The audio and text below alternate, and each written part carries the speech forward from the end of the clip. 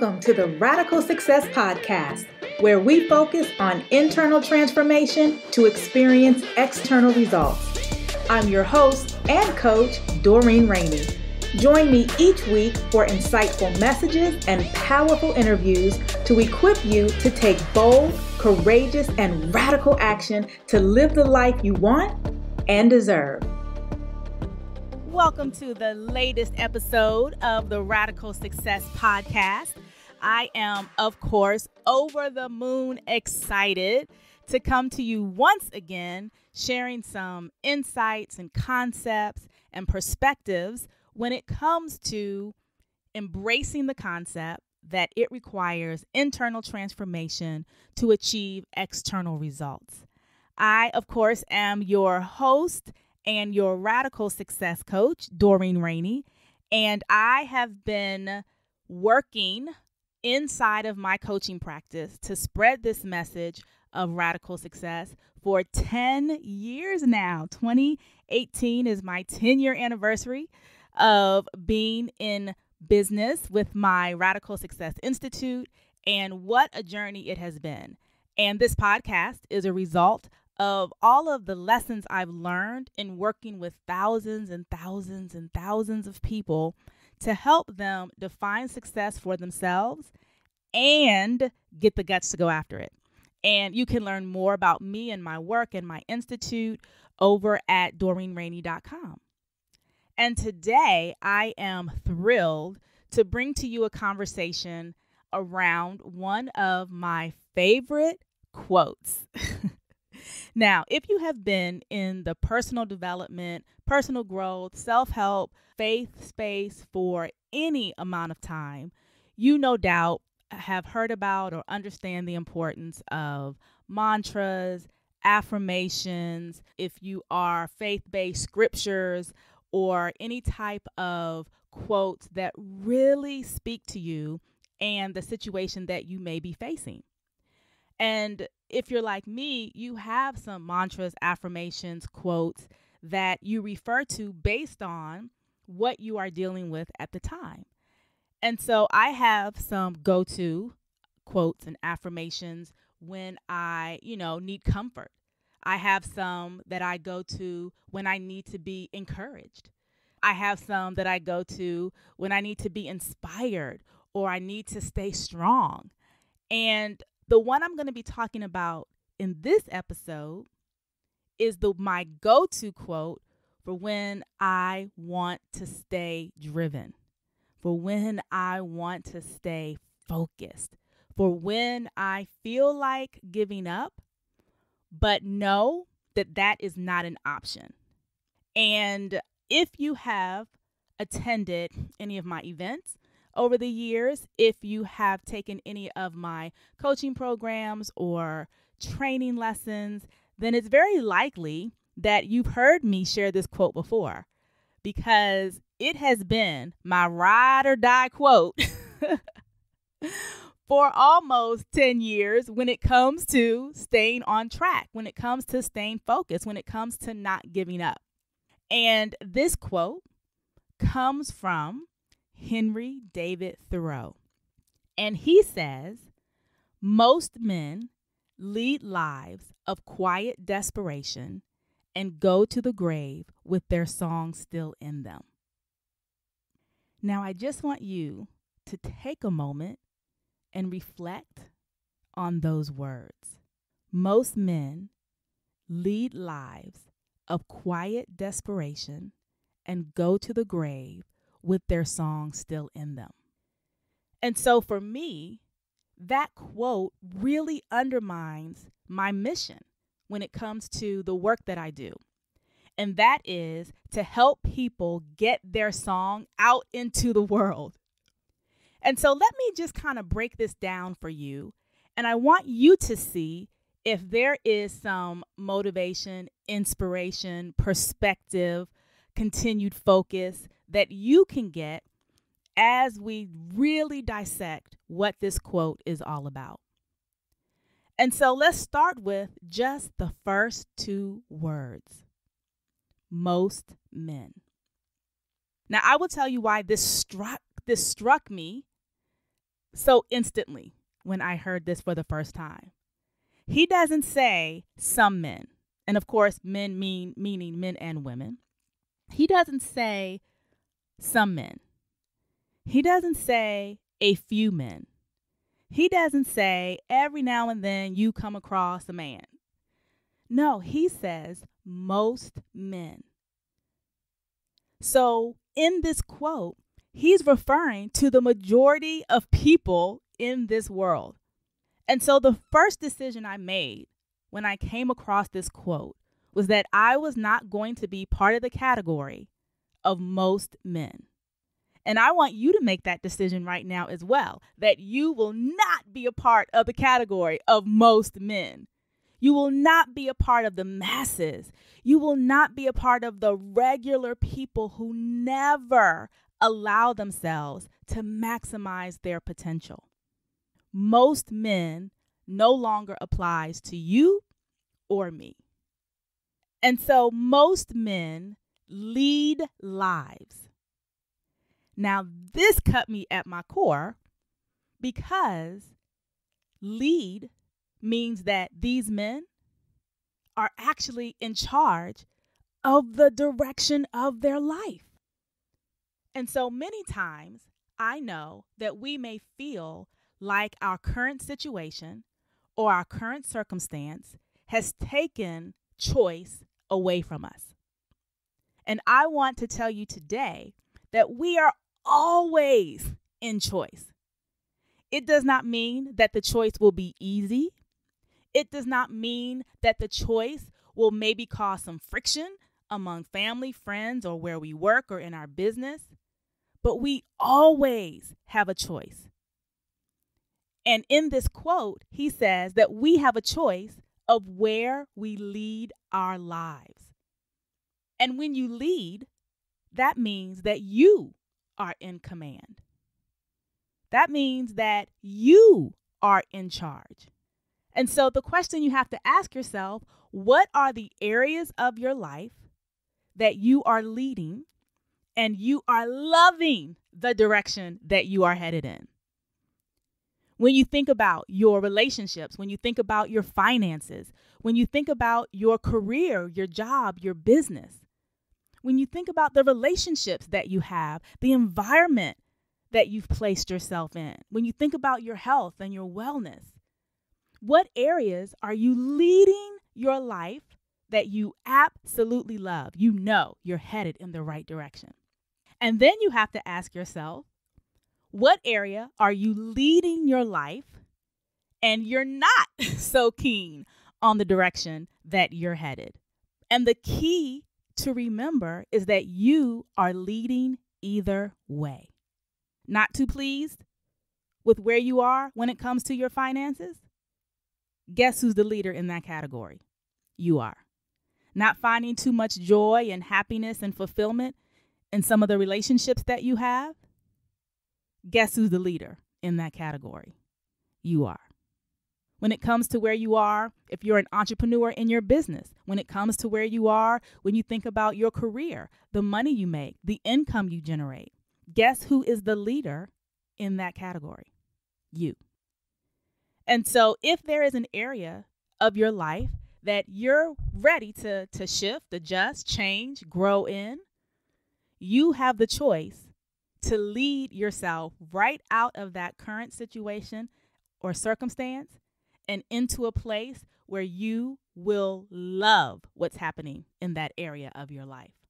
And so, when we look at this quote, we already know most men, we're not going to be most, lead lives we are the ones in charge of the direction that we head in.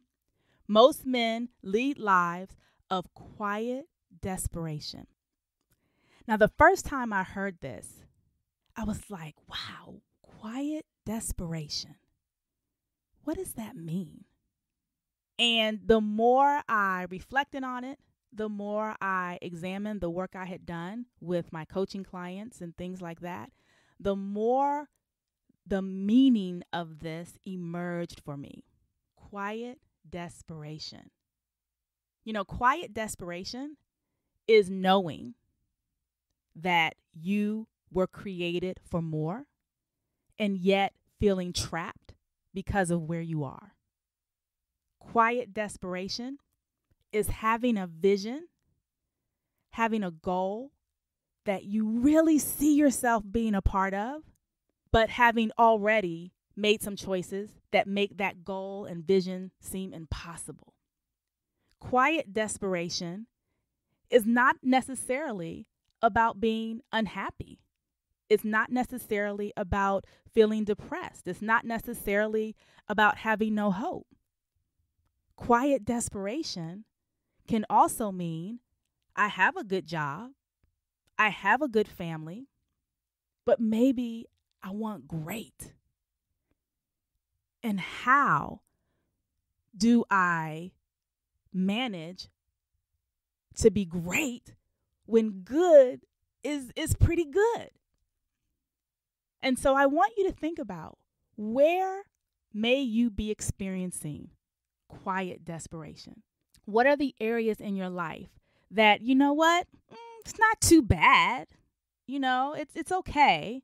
I should be satisfied. I should be happy. I should be fulfilled. But yet there's something on the inside of you that says, "Oh, there's more."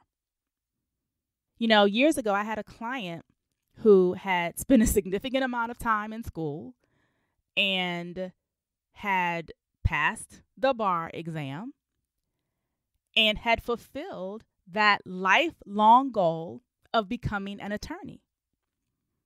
And guess what? They didn't find the true joy, fulfillment, and satisfaction in being an attorney. And they wanted to change careers.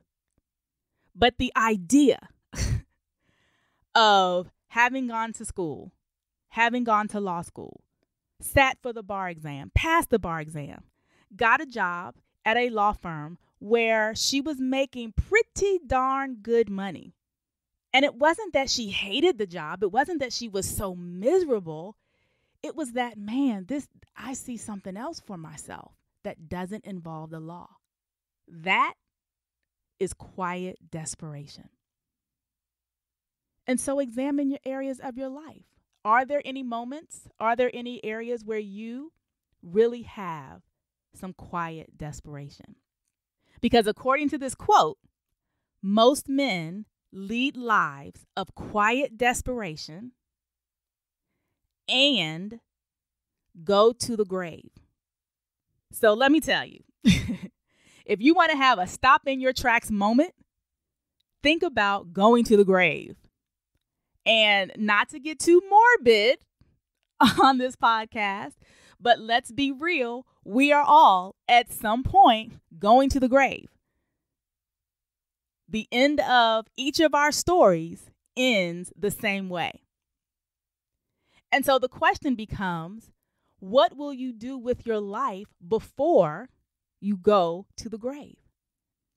And according to this quote, most people will stay in a state of quiet desperation and be in that state when they go to their grave. And when you go to your grave, there are two options that will be available to you. According to this quote, you will either go to the grave with your song still in you, or you will have gone to the grave having sung that song as loud as you can. Off key, on key, in harmony, it doesn't even matter. You got that song out into the world. And so, which are you choosing? Are you choosing to go to the grave with your song still in you? That dream, that vision, that goal? Will you go to the grave with that song still in you? Never having written that book, never having become a doctor, never became that chef, that restaurant owner, never becoming a mentor, never becoming a philanthropist. What will you be taking to the grave? Will you be taking the song still in you? Or will you go hoarse, barely able to speak because you've been singing so loud for so long? And so, if any of this is resonating with you.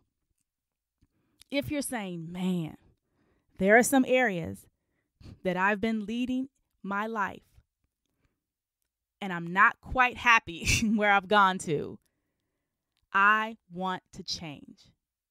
I want to come out of this state of quiet desperation in this particular area of my life. If that's you, I don't want to leave you hanging. you know, here on this podcast, we want you to think deeper. We want you to ask yourself more profound questions. And sometimes we'll leave you. I'm going to leave you with those questions to ponder, to think about. But for the most part, I don't just want to leave you with questions. I want to provide some insights and some strategies and some concepts that you can use to begin to find answers to those questions and then take action accordingly. And so I have three tips for you today if you have some areas of quiet desperation. And the first thing is number one, to accept and be okay with wanting more. And let me tell you why this is so critical. Because I've talked to people all the time. I talk to people all the time. And what I hear is, but I should be happy. Right? I make good money. I have a good marriage. You know, I'm, I love my children. I like my job. You know, we may not be rolling in the dough, but you know, we do all right. and so you convince yourself that you should be happy, right? You know people who would kill to be in your position. You know people who are so much worse off in this particular area than you are. And so you kind of you kind of question whether you should really want more. And maybe you even have some people in your life that remind you of that. I don't know what you complaining about. You make good money. I don't know what you complaining about. He loves you. She loves you. You should just be happy. You always unsatisfied. You should just be content with where you are. And so the first thing I want you to do is to accept that it is absolutely okay to want more if you have a vision, if you have a goal, if you have a yearning, if you have a place of quiet desperation, give yourself permission to go get more, to do more, to be more, to have more, and to give more. So that's number one. Number two, I want you to identify what the real vision and goal is. You know, maybe you're like that attorney I talked about earlier, and maybe you have invested time and money and resources into achieving a goal that you had. Yes, you're a lawyer. Yes, you're a doctor. Yes, you have your own business. Yes, you have that job. Yes, you live in this particular house, in this particular neighborhood. But now you want something different. Identify what that is. Do you want to be a chef? Do you want to be a writer? Do you want to close down the business? Do you want to go back to school? Do you want to completely change careers?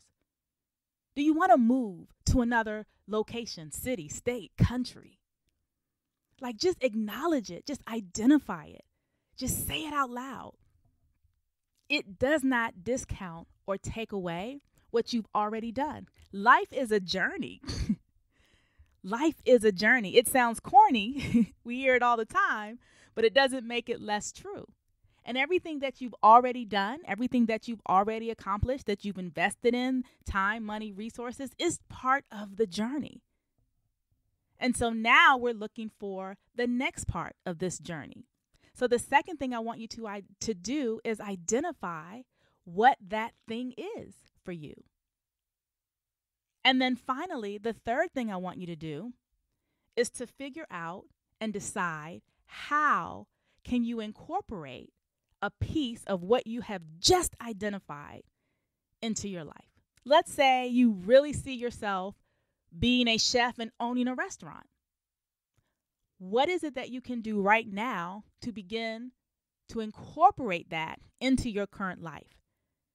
Is it taking a cooking class? Is it enrolling in culinary school?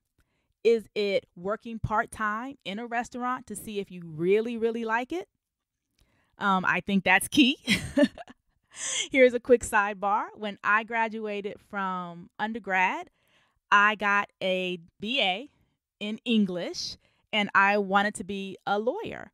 And so I decided to take a gap year before going to law school and I worked in a law firm. I worked in a corporate law firm downtown Washington, D.C., huge firm, hundreds and hundreds and hundreds of lawyers, lots of corporate clients, um, lots of money coming in. And what that experience taught me is that I don't want to be a lawyer.